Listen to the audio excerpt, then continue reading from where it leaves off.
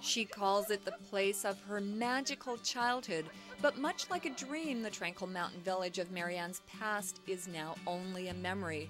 Remnants and ruins of Bamberton stand hidden above the Malahat, where once there was a thriving community. Our life was like Disneyland. It was absolutely wonderful. We we had special places we played in. Every day was creating a new world. There was forts and magic, and we didn't need a lot of toys. We just had imagination in this wonderful location to live in. I think this might have been my mother right here. Terry Brunt spent his entire childhood in Bamberton, a company town providing homes for cement plant workers and their families, a self contained village with a school, a recreation center, and the ocean and mountains as a playground. As an adult, Terry followed in his father's footsteps and worked as an electrician at the plant, spending a total of three decades as a resident of the tiny village. I carry a lot of uh, nostal- nostalgic moments. Uh, you know, playing with my friends, and it was character building. Bamberton, for those who grew up there as children, was a place of happy times, incredible beauty, and freedom from fear.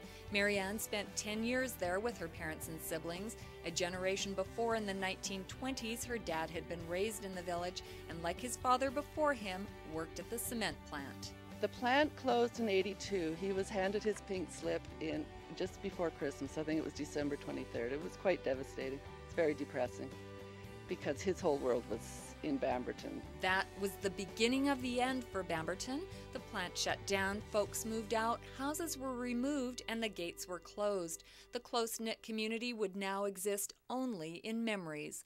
100 years after its beginning in 1912, former residents gathered on the lawn of the only remaining house and rekindled relationships with those who had once shaped their lives as neighbors and friends and reminisced about having lived a unique life. We were sheltered here. We were sort of isolated from any other communities, but we were safely nestled in the side of the mountain. We were allowed to roam the property freely at any time except we weren't allowed to go down where the industrial operation was on.